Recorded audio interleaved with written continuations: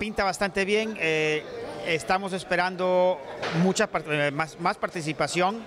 Eh, va incrementando, es el tercer torneo del circuito, empezamos con el de Aguas de Muro, que tuvimos, como lo comentó Mario, yo creo que como un 60% más de participación, tuvimos casi 160 participantes. Ahorita el torneo de Aguas Antiguas, el torneo de Sábalo, también subió como un 40% de, participación y más o menos esperamos algo similar este, este año con, la participación de lanchas. Yo creo que esperamos pasar las 30 lanchas eh, en este torneo.